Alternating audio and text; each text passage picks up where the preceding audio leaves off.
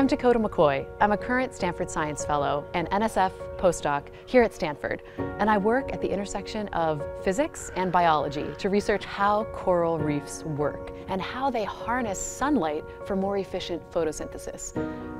To do this, I bring advanced tools from photonics and pair them with methods from marine biology. On a given day here at Stanford, I might in the morning, be at the Hopkins Marine Station in Monterey with my hand in a tank of coral. And then that afternoon, I drive back to main campus and I'm working on some of the best laser photonics tools in the world.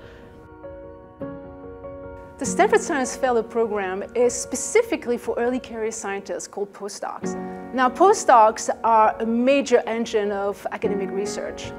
And so the goal of the program is to attract the very best across the globe, bring them to Stanford and empower them to do uh, creative research and to really set them on the path of becoming leaders in the field and uh, role models in the communities.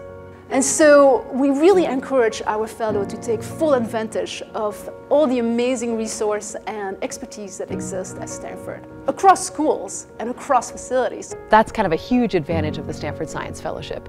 Most postdoctoral fellowships don't give you the chance to work at the intersection of multiple fields. But here at Stanford, it's not only allowed to do interdisciplinary work, but it's actually encouraged and supported. It's also encouraged that the fellows when they apply to the program, they propose the research vision they want to pursue.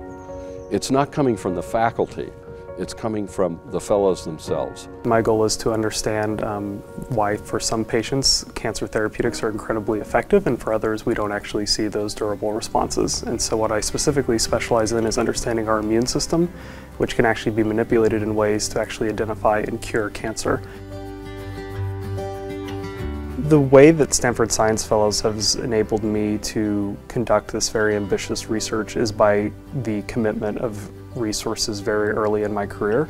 It's something where I'm conducting a very ambitious research program that ordinarily wouldn't be something that I would feel comfortable doing because I would be having to worry about how I was going to fund my fellowship um, or potentially do safer projects that would give me um, easier results in science. And so with the early support and the commitment from Stanford through this fellowship, I've been able to take a more ambitious path towards trying to do uh, very difficult but meaningful science.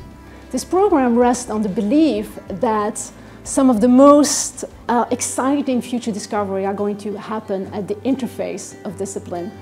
And if you embrace this notion, I mean, this program could be a good place for you. That's why I was so interested in the Stanford Science Fellowship.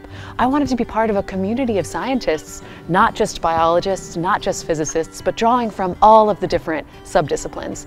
And to be honest, I think this approach is the best way to truly understand life, physics, space, and everything else that captivates the human mind.